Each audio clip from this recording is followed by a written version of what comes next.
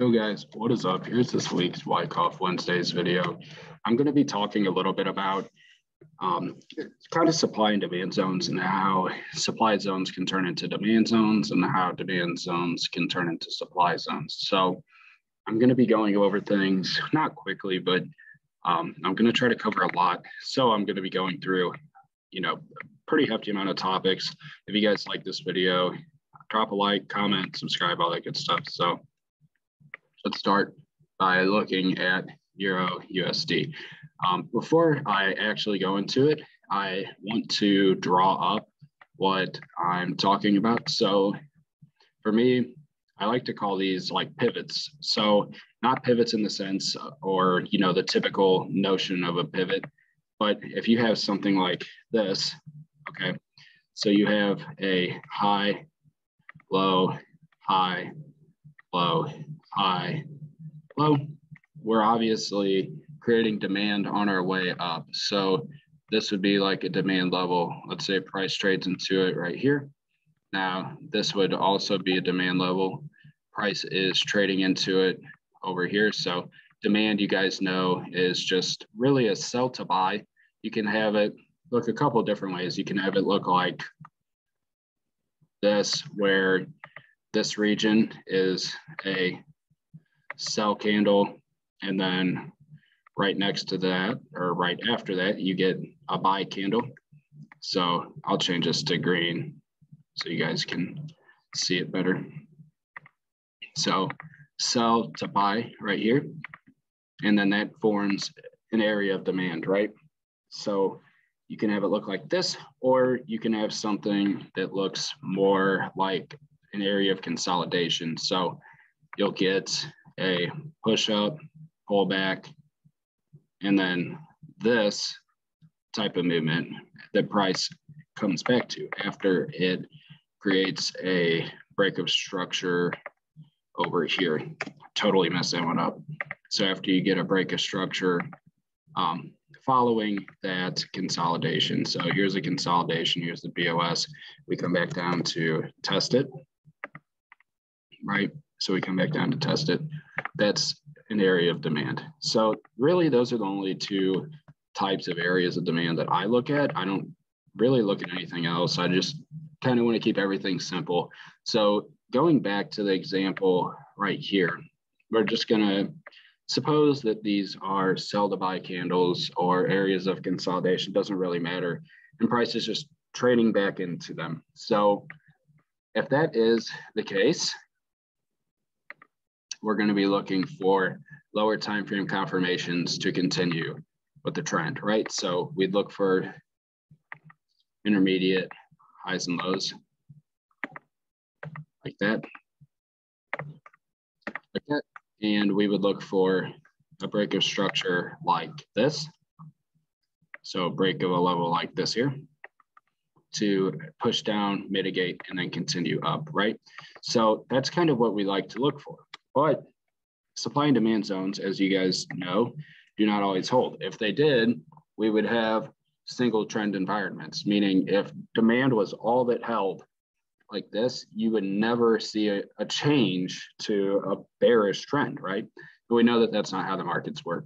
So what happens when we do get a change in trend? Like when demand starts to fail and when supply takes control.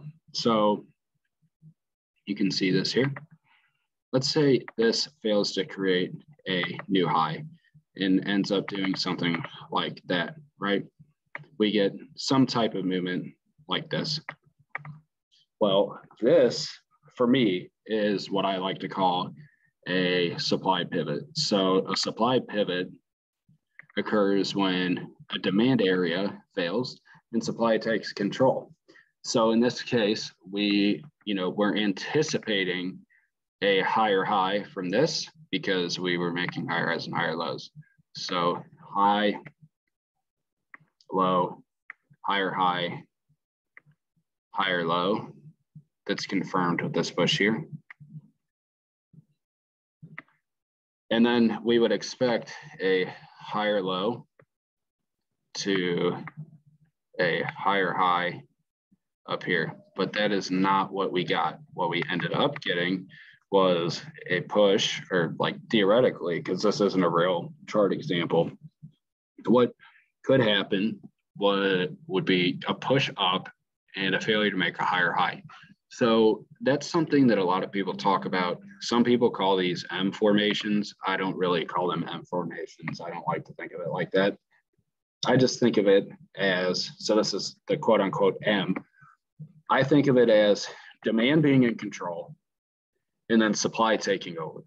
The demand is holding, holding, and then it holds a little, but supply or selling takes control of the market. So what do we like to see when you know we we reach these levels? What do we like to see? So the answer that you guys can probably anticipate is that price would trade up into here and then short off because it's supply, right? That's not anything crazy. But the thing is, is when you get these pivot levels that change demand to supply, and obviously vice versa for supply to demand, which I'll cover. When you get these types of areas, they're very high probability because it is the point at which price is really the delivery is exchanging hands, right? It's going from buyers to sellers. And this is the region that caused that exchange. So, what do we like to see? We like to see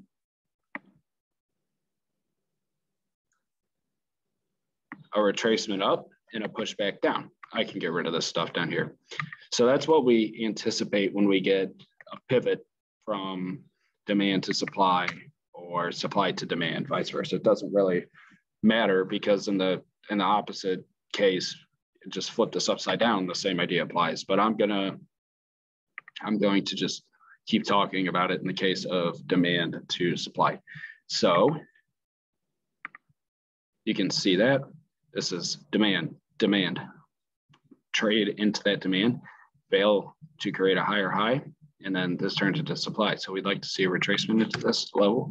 And we can be very confident the price will hold here because this is where the change occurred. This is where we actually changed from a bullish trend to a bearish trend. So looking at this, there are a couple things you can do since these zones are high probability zones, you can take trades right off. That's the power of these zones. These zones do have a lot of merit, right?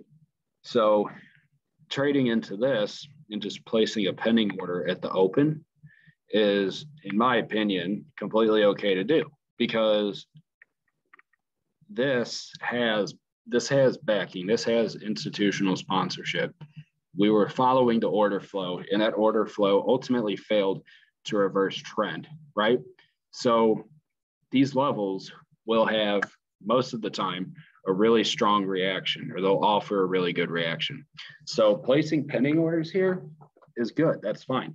Now, placing pending orders like in regions like this, like this here, isn't really a good idea because if you do that, there's not really there's no telling if price is actually going to respect.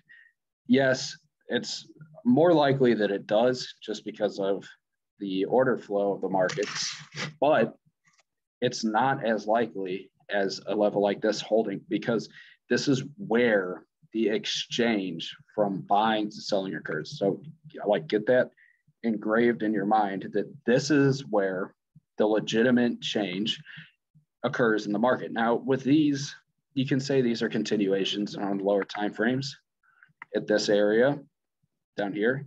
When you get that flip, that's where this is where the change occurs, right? And so you can drop down to the lower time frames and do that, sure. But I'm saying from a higher time frame perspective, the continuation levels are less likely to play out because they don't have the power of that reversal zone. This is the reversal zone. This is this is where the banks had to collect orders and close out their sell positions, right? And that's why price gets pushed back up, but they inject all this selling into the market to push it back down. So that the volume that's trapped within here is very pertinent and it is very significant for you know the the institutional bodies that move the markets. So that's why levels like this end up holding more than levels like this. Again, this is kind of a reversal level. This is where we reverse trend from bullish to bearish. These are continuation levels right here, right? This is more likely to hold right here. And we'll call it a supply because that's what it is. I'm sorry. We'll call this a supply pivot right here. So supply pivot. Now I'll go ahead and talk about demand. So, and I'll try to find examples for you guys. This can look a bunch of different ways. This is just like the most basic, simple understanding that, that I can show you guys. Now, when you trade this, I'd like to like to say that when you trade this or try to trade it, you do want to see a break of structure. So the break of structure would be here because this is the last low that actually produced a higher high. So we need to trade past this to actually have a break of structure, right? So you want to see a break here and then a retracement to go short like that. Oops, didn't mean for it to look like that. You want to see a legit retracement here to then short off. So BOS retracement, which that's not a new idea at all. That's something that we have always looked for. So I'm going to invert my scale, talk about a change from supply to demand, and then I'm going to talk about the different ways that this concept can kind of manifest itself or present itself on the charts. So if we look at this, this is obviously supply changing into demand. So if we have something like this, we are obviously in a bearish trend. So supply is in control. That's just a basic idea. If you're trending down, supply is in control. Trending up, demand is in control, right? So we can see that here. And what would we what would we be looking for? We'd be looking for this BOS a retracement down to push price back up, right? So retracement down, back into that area, BOS to confirm, and then we would anticipate longs because we had a flip or a reversal in the market. So talking about it in this sense, it's rather obvious, but this is again the most simple way to to present this idea. So you can see supply is in control. Supply is in control.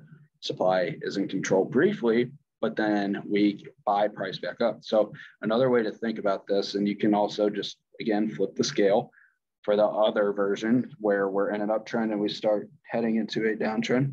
What happens here is supply briefly takes control right here, pushes down, but then price buys back up. This is, and this turns into kind of a sell to buy candle, right? And then we anticipate a push down, a break of structure to the upside, right? So this is a sell to buy that we would anticipate price coming into. Like I just said, sorry for repeating myself. It's the same idea as this. this is, and then this would be a buy to sell that we would want price to trade into. And this is a supply pivot. So what do you think we would call this? If this is a supply pivot, this would be a demand pivot, right? Demand pivot. So demand pivot here, and we expect price to retrace, continue higher, like I just mentioned. So this is the most basic example of this, as you guys know. Now I'll talk a little bit about variations and kind of different ways you can see it. So if you have something like this, this is just a slightly different, smaller, you know, example. It can come in all shapes and sizes. Like this is still the supply pivot, right? This is where demand or where you would anticipate demand on holding.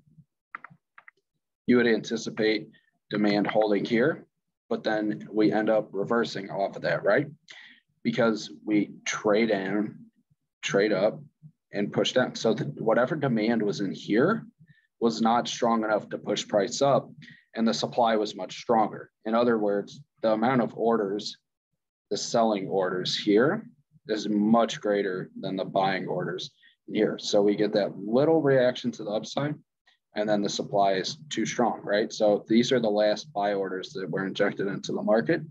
And then we would expect price to trade up into those to mitigate out of them, right? Just a natural expectation. It's no different than setting an expectation with a buy to sell or sell to buy because essentially that's what these are. However, they're happening in very specific places. This buy to sell happened in a very specific spot. It happened within a demand zone. So that that gives it more merit or a higher chance of holding than if it were to happen like this.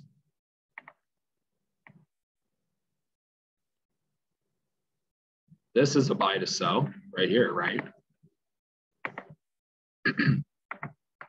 now, with this, yeah, it is likely that it'll hold because it, it is with the trend, but continuations, most of the time, unless you get a confirmation, do not hold. You'll see this. You'll see like that, a wick past, and then it will go down because it needs to grab the liquidity resting above this high. So placing or limit orders here does work, but it is not wise. However, with something like this, I have no problem placing a trade up here because it happened, this buy to sell happened in a very specific zone that specific zone, again, is within a previous demand, right? Previous demand. This buy to sell, not really in a specific zone. Sure, it could have mitigated something over here, but that is not as strong as causing a change in the trend. That's really what this whole idea is. And when I say a change in trend, it's all relative. I'll go into a couple more examples, but you guys can see this caused a reversal in the trend. This was a high, low, high. We had a little buy up and then the supply took control here, causing a break of structure happening within the demand level. High probability zone right here. This is a high probability trading zone. These buy to sells are high probability if you can get a confirmation within them because they don't really happen at a significant level. Yeah, they can mitigate something, but they don't really have like a cause and effect relationship. You can't look at those and say indefinitely kind of what it caused. But with something like this up here, this caused a break of structure. This buy to sell caused a break of structure, right?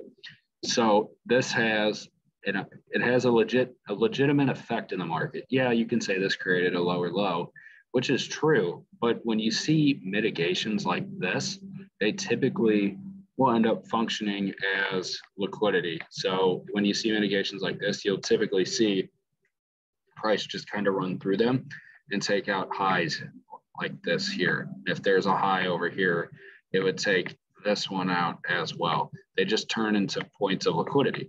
So now moving on, you know, after this discussion of looking at mitigation buy to sells and, you know, kind of flipping or reversal of trend buy to sells like this, the idea is these are high probability buy to sells.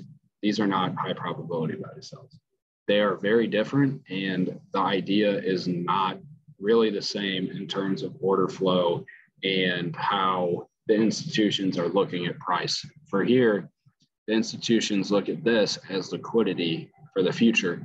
But with this, this has a true cause relationship. And I mean, here, re- causing a reversal in trend is more significant than causing a continuation because the banks were maintaining the buying orders all throughout here, but they had to sell off to invalidate these buys. Here, that's not the case. They just push price up and then sell off and follow the trend. So the orders that were injected in here are not as important or pertinent as the order is here because this causes a change and it makes it causes price to begin respecting supply, not the demand. Here, it's just going to keep respecting supply. So it's it's more anticipated than this. But when you see this, this is a high probability zone. So talking about a couple more examples, something like this. High, low, high, and then I'm gonna do this.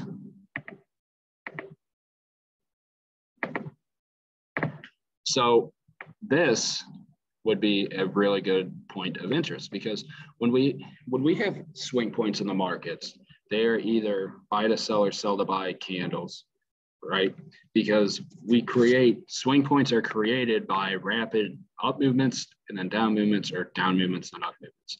So this is a rapid up movement before a down movement here.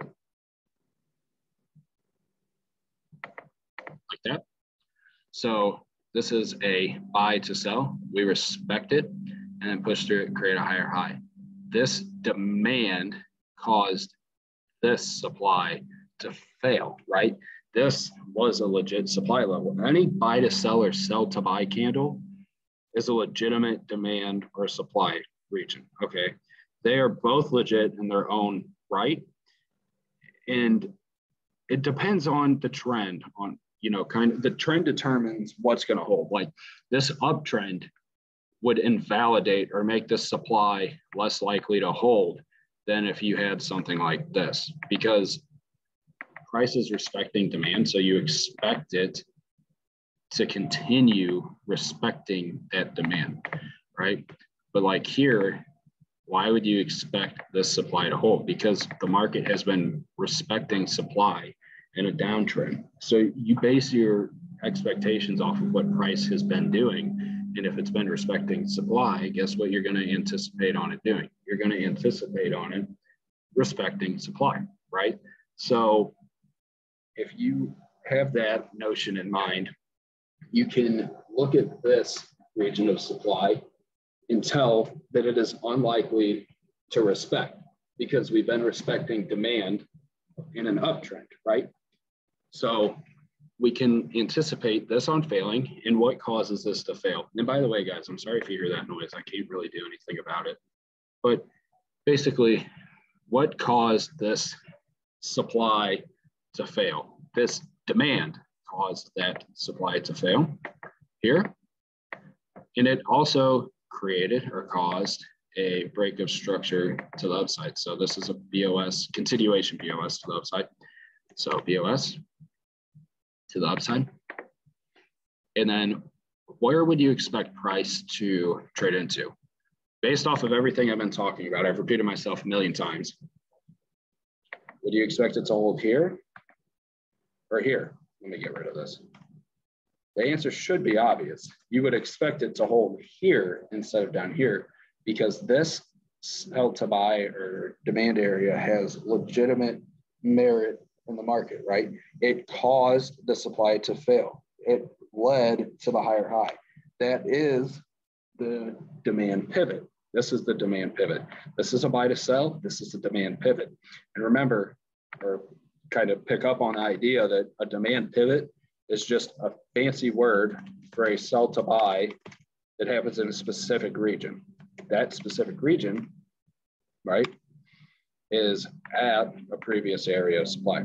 This is the demand pivot here. This was just a sell to buy.